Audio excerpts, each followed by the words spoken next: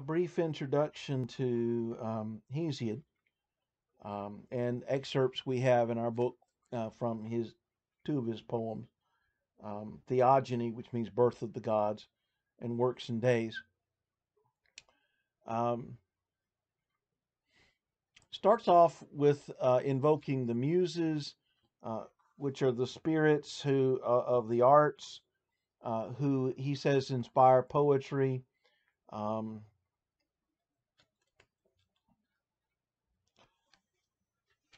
as well as all all sorts of human wisdom. Um,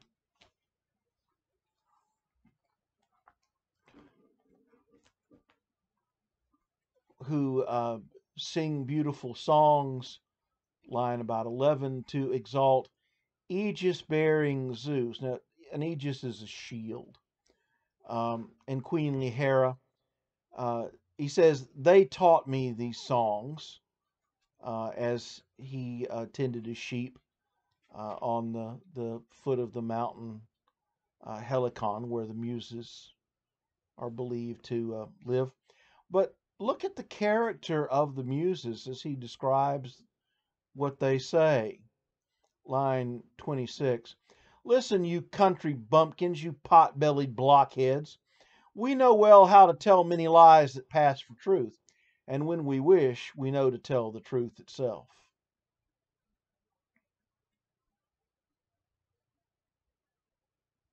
Can you trust what they say about the gods? the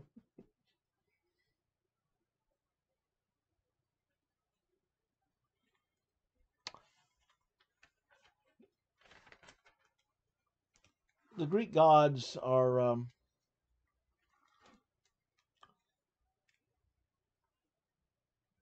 are certainly not moral exemplars. They are uh, they are like human beings, except they don't die and they're more powerful.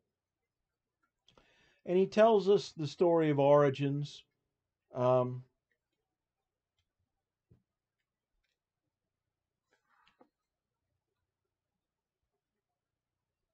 and how the muses inspire uh, the wisdom of kings uh, to to govern well, and really all of the human talents.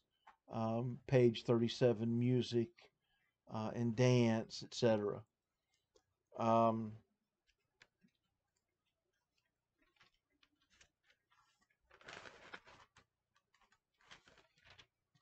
but he, he's telling us here this the where the gods came from, how they came to exist, uh, and and um, it begins with chaos,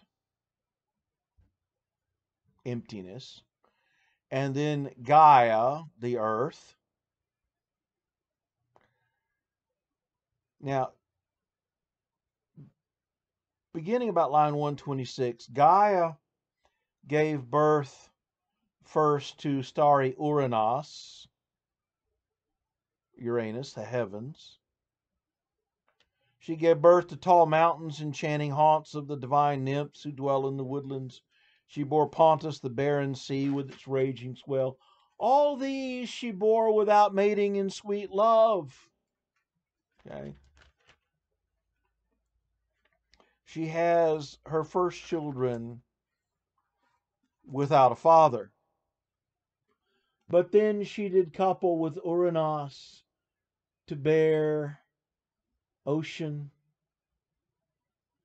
and the the the first generation of, of gods, uh, the last of whom Kronos. Um,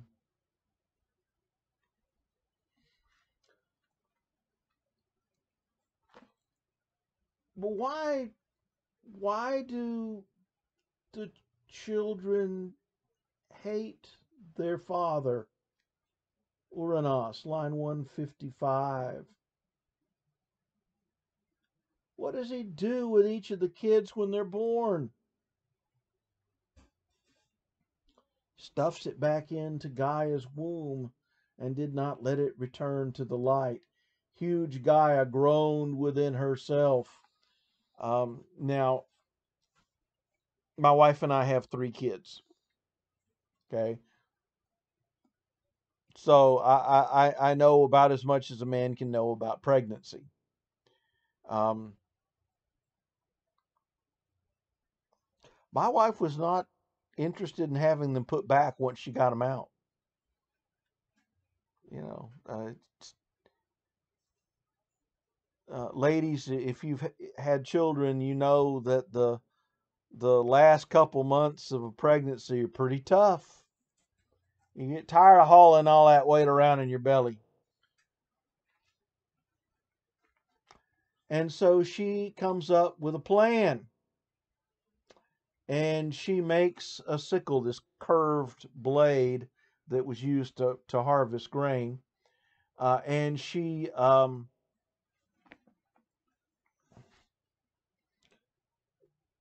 she gives that to um,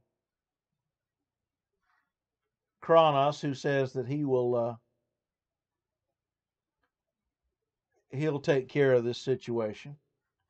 And so when Uranus, line 176, came dragging with him the night, longing for Gaia's love, Kronos reached out from her womb with that sickle, line 180, and hacks off Uranus's genitals and throws them as far as he can. And when they hit the water, um, that is where Aphrodite, the goddess of love, comes from. Uh, Aphrodite uh, who um, from whom come line 205 young girls whispers and smiles and deception and honey sweet love and its joyful pleasures.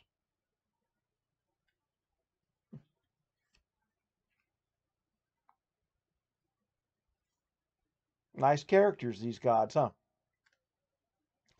Now what we have uh, the the second excerpt from works and days is a, a description of uh, the the the story of how human beings uh, got control of fire. One of the titans, uh, Prometheus, uh, steals it from Zeus uh, and gives it to human beings. Uh, and page 40, Zeus wants to get back at people for having control of fire and so he um, he calls Hephaestus the the blacksmith of the gods um, to make a woman. Athena, goddess of wisdom, teaches her skills in weaving. Aphrodite makes her attractive with stinging desire and limb gnawing passion. Um, Hermes, the messenger of the gods, uh, puts in her the mind of a bitch and a thievish nature. And so all the god, the gods and goddesses work to fashion um, this creature called Pandora. The gift of the gods to men, mankind. Because she really represents all women.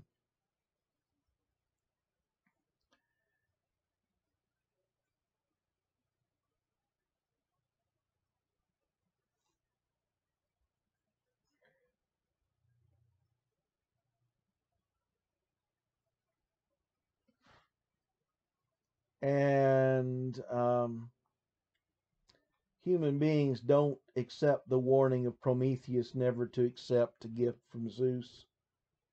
Send it back because his gifts are not something you want to have. And we'll see what happens um, as a result.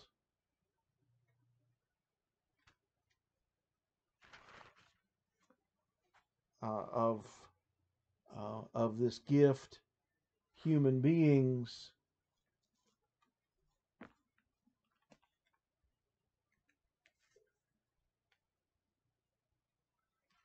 She brings this jar. Um, that when she opens it, turns loose all the griefs and cares of life. The only thing that stays in the jar is hope.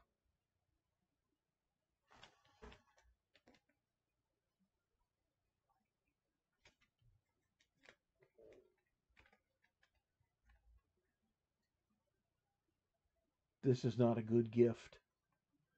Back to the top of page 40, line about 10. The price for the stolen fire will be a gift of evil to charm the hearts of all men as they hug their own doom. you know, all a man's troubles come from women. That's what he's saying as your textbook puts it, somewhat misogynistic. Now, the other part of this that's that's important is his his vision of history, uh, divided into ages. Um, first, the the the the golden age. Uh, the, the, at the beginning, uh, there was there was no pain. Uh, people lived a long time and then simply went to sleep. Um,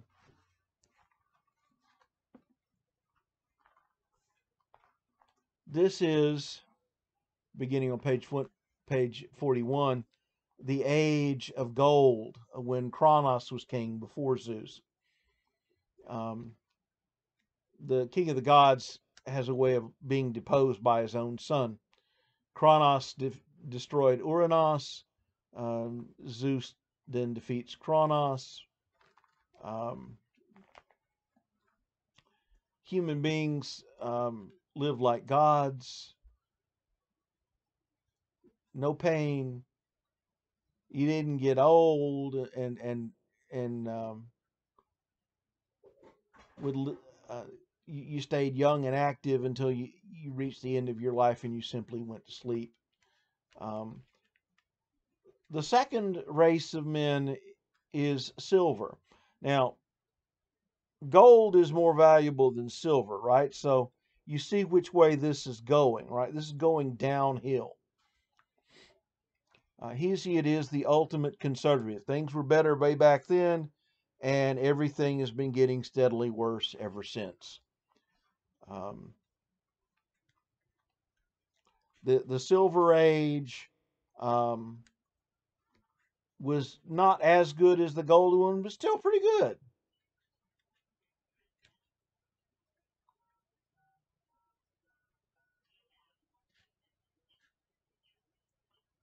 You know, they had a long, long childhood and adolescence, um, but you know, when they reach adulthood, it, it's pretty much over. Uh, the third age is the age of bronze, even less valuable, um, going again, going steadily downhill. The age of the heroes, Oedipus, and the heroes of the Iliad and all of that. Um, Hesiod sees himself living among the fifth race of men, and he wishes he had. Um, he he didn't. Um, the current age, the the race of iron, um, it's it is terrible. Um, children are born gray at the temples. you know, they're born old. Children will not resemble their fathers. Now, what does that suggest? You know, when when uh, our first child was born, um, she looked exactly like my baby picture. Uh, you know, uh, it's a good thing we were married because if my wife had had to sue me for child support, I would not have had a prayer. Um, there will be no affection between guest and host. Um, you know, hospitality was maybe the most important virtue in the ancient world. You'll see more of that as we go through the Iliad, get to the end of the Iliad. Um, sons and daughters are disrespectful. People are, are lawbreakers, warlike, evil, dishonest, crooked, envious. I mean, people people in this fifth age are horrible. Uh, and, and this this vision of history has had tremendous influence. Um, this idea that things are going steadily downhill, you still see that in people's outlook. Um,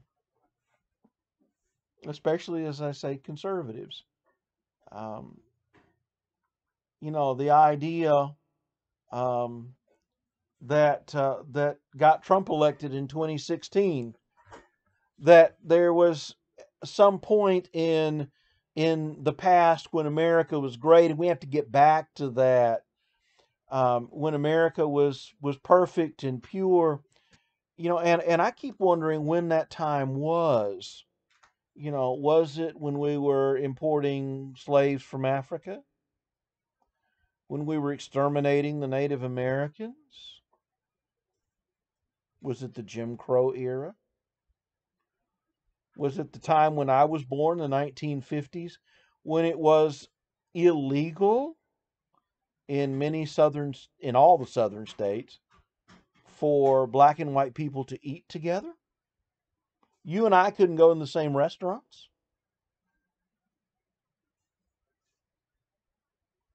Was that when we were great?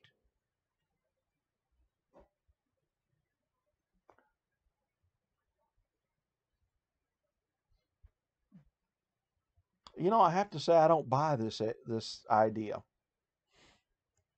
that we're devolving. We're changing. I think some of the changes that I've seen in my lifetime have been for the better, some for the worse. Some are a mixed bag.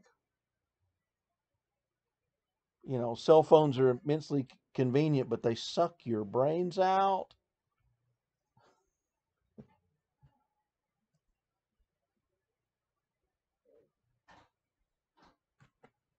Think about the character of Hesiod's gods and how that is reflected also in Homer's Iliad and the influence of this system of ages.